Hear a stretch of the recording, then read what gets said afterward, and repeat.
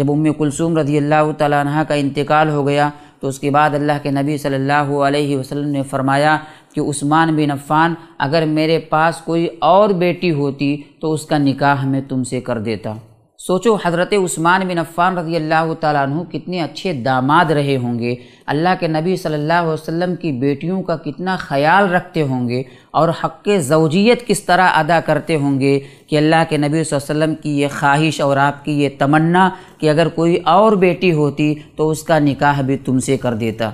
वरना आज दामादों का तो मामला ये है कि वो ये चाहते हैं कि ससुराल में उनकी चले, वो ये चाहते हैं कि ससुराल में उनकी मर्ज़ी से काम हो। वो ये चाहते हैं कि ससुराल वाले उनके सामने झुक कर रहें। आप सोचें कि हज़रत उस्मान रदी अल्लाह तु कितने अच्छे दामाद रहे होंगे और हक़ ज़ौजियत को किस तरह अदा करते होंगे और अपने ससुराल वालों के साथ उनका रवैया कितना अच्छा था कि अल्लाह के नबी वसल्लम की ये ख्वाहिश और आपकी ये चाहत कि अगर कोई और बेटी होती तो उसका निकाह भी तुमसे कर देता। ऐसे ही और वीडियोस बनाने में हमारी मदद करें।